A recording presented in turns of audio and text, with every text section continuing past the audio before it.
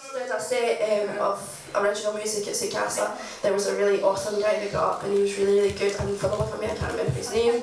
And he did the obligatory ex-girlfriend song, he called it. I was offended.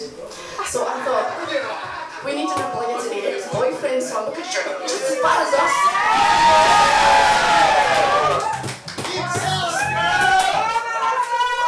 So this song's called Ain't to